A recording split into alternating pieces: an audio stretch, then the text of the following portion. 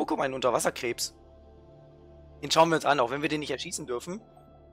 Aber wir können ihn uns ja mal angucken. Hallo, Krebs. Wow! Böser Krebs! Aus! das kann ja keiner wissen, dass man hier von einem Krebs attackiert wird.